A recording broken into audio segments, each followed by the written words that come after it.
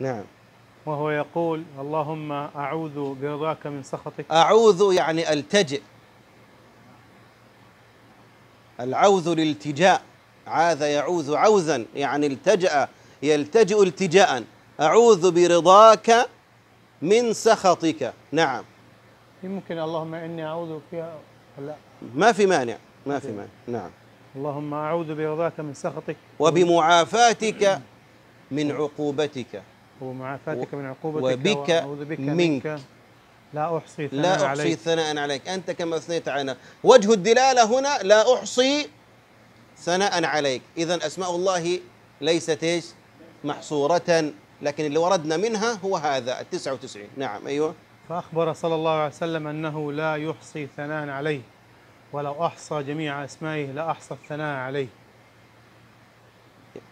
نعم. ومن ذلك أيضا ما ورد في حديث الشفاعة الطويل أنه صلى الله عليه وسلم قال ثم يفتح, يفتح ثم الله- يفتح الله علي بمحامد أحمده بها. لم تفتح علي من قبل. هذا دليل آخر. فيقول الرب عز وجل ارفع رأسك وسل تعطى واشفع تشفع. نعم. ثم يفتح الله علي من محامده وحسن الثناء عليه شيئا لم يفتحه على أحد قبلي. فدل الحديث على أن هناك محامد من من أسماء الله وصفاته يفتح الله بها على رسول الله صلى الله عليه وسلم في ذلك اليوم وهي بلا شك غير المحامد المأثورة في الكتاب والسنة. هذا وصلى الله وسلم على رسول الله. عليه الصلاة والسلام. وأيضا حديث آخر واضح الدلالة. اللهم إني أسألك بكل اسم هو لك سميت به نفسك أو أنزلته في كتابك. أو علمته أحدا من خلقك أو استأثرت به في علم الغيب عندك.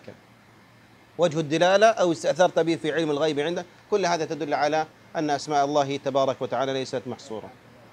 لا. هي تعد لكنها لا تحصى كنعمه. بعض الناس يخطئ يقول لك إيش؟ نعم الله تعد لا تعد ولا تحصى. لا.